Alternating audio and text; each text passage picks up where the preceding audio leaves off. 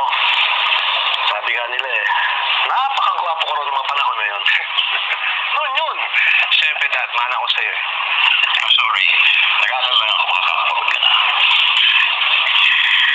Marunong ka palang mag-alala. Nakakapanibago naman yung pagbabago mo. Nakakapanibago na. Hindi naman yun ang ibig sabihin.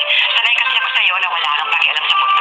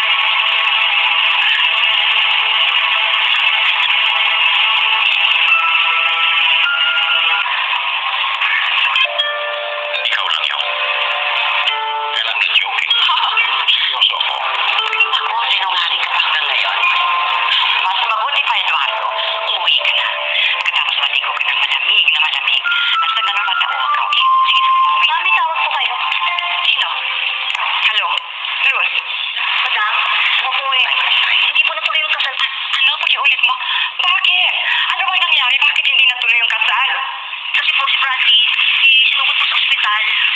Dapat po si Diana. Pero madam, kaya naman po din ako tumawag kasi kahit